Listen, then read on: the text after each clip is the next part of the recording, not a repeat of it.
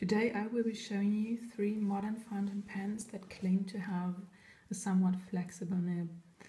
They don't actually say that they're anywhere near a vintage fountain pen with a flex nib or a pointed pen with a flex nib like a Nikko G or whatever nib you would call. These are more of a semi-flex nib or soft nibs that you can get some line variations from. So don't um, compare them to a proper vintage flexible fountain pen nib. Um, these three are modern pens that I have with this kind of nib and I will do a short comparison and show you what each nib can and can't do. So this is the Visconti Rembrandt. This is the um, Pilot Falcon and this is the Platinum 3776 and now I'll be showing you each one of them. I will start with the Visconti Rembrandt fountain pen. It is a lovely pen.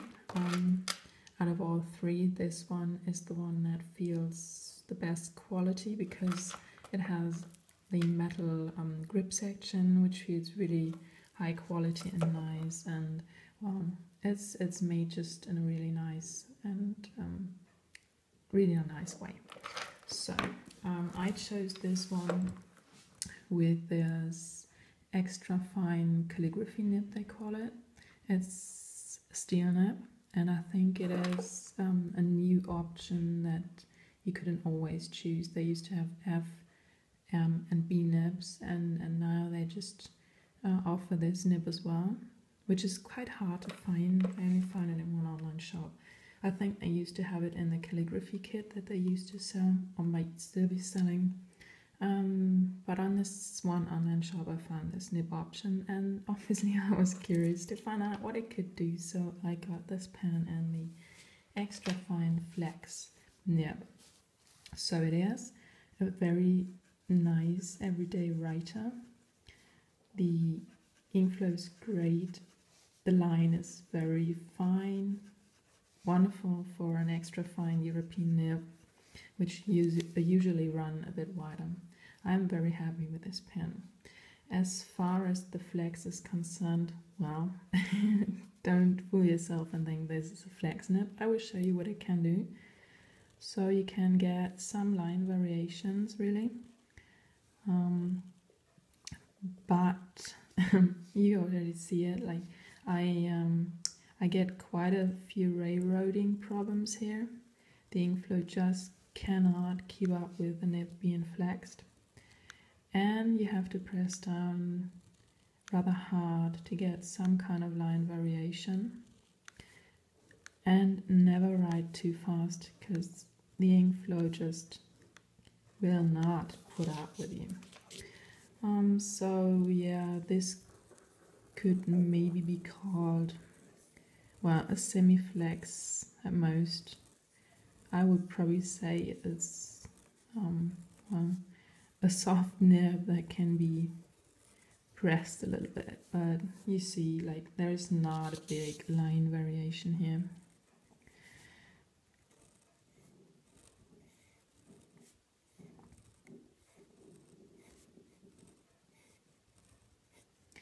And want to use it for calligraphy, you will find that when you press it hard to get the shading, it feels a little scratchy. So it's not the nicest writing experience really.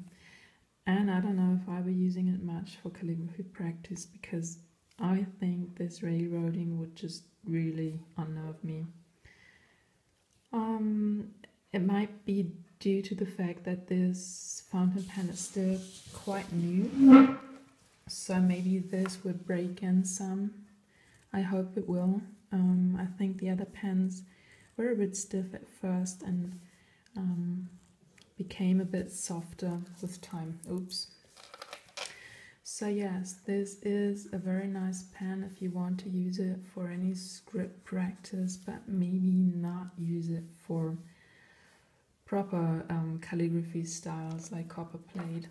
Um, I, I don't think I would use it too often because the railroading would just put me off and it's it's quite um, quite the hard work to, to get it to flex really.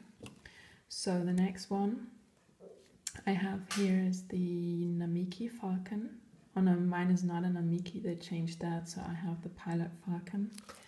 And the nib I have in here is um, this one, it's stemmed 14k, so it's a gold nib, I think it's plated iridium or something.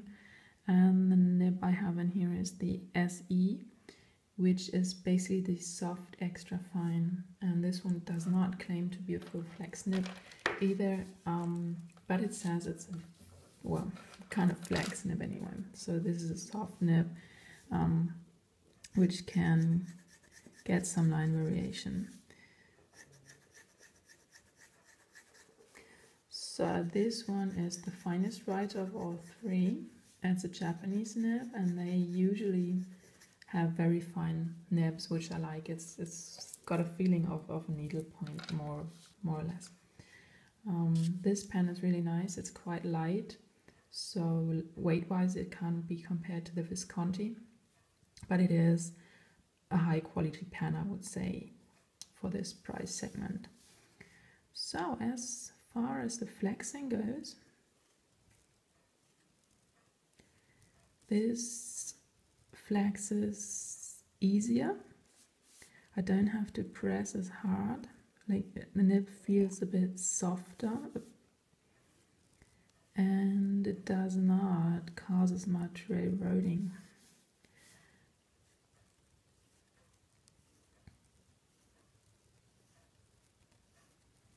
There is some line variation, some obvious line variation, and here is why you can't compare it to a Zebra G or whatever. It's just not um, comparable to that, but you will be able to um, have some, some really nice line variations. I do use this pen for some calligraphy practice and I am really happy when I use it. Um, the ink flow keeps up with a flex nib. Um, it has this nice and smooth feeling to it that I want in a calligraphy pen. So this overall is a fun pen to use for some calligraphy practice. It's never ever gonna be my main pen for practice, but on the go I am really happy. Oops, there's railroading. I am really happy with this pen for calligraphy practice. I can really recommend this one. It's a nice pen as well. So the third one is the Platinum 3776. It's got these gold trims, which I personally don't really like that much, but well, many pens have them, so better keep up with it. Um, the nib I have in here is um, a gold nib, a 14K and it's the SF nib which stands for um, soft fine.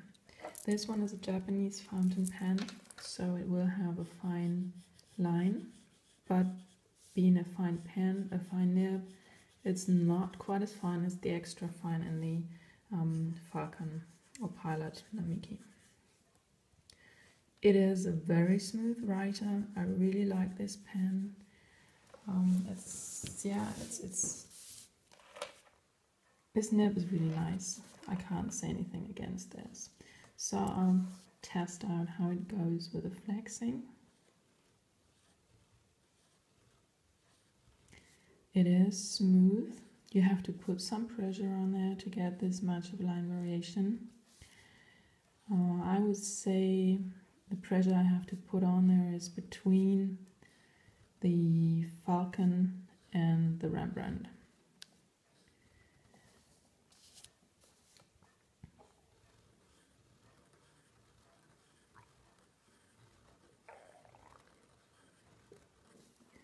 It does work well, it doesn't have any railroading, so the ink flow is very consistent and can keep up with the flex nib.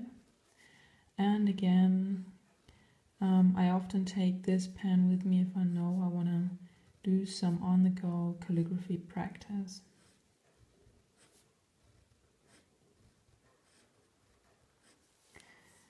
Yep, I can attest to this. It's it's a good buy if um, you're looking for some soft nib. So again, um, all three basically do what they say they can. Um, every nib is slightly flexible or soft. Um, my favorite, I think, for getting a flex nib is still this one, the Pilot Falcon. And I really like this soft extra fine nib because it's just very, very fine and very smooth. And to me, it was the softest of all three. And then as far as the flexing goes, I think my second pick would be the Platinum 3776. Um, it does flex nicely and the ink flow is, is wonderful. And sad but true, my third pick would be the Visconti because the nib is still very hard. It's a steel nib, and maybe that is the problem. It just can't be compared to gold nib, I guess. Um, it just needs too much pressure and it cannot keep up with the ink flow. I get so much railroading. Um, it really bothers me. So I don't think I will use this pen for practicing calligraphy very often, which is really sad because I love that pen. It's just such a pretty pen, but let me try again um, in the hope that it works nicer now. Uh, oh well, yeah, feels a bit scratchy and then it's railroading about halfway down on my shading side. Um, yeah, it's just not as smooth as the two Japanese ones. I'm sad to say, but it does flex. So if you think you can put up with um, a little scratchy nib, this is a very very pretty pen and and it does flex. So that was my short comparison of these three pens that I have and I hope you like it. Bye.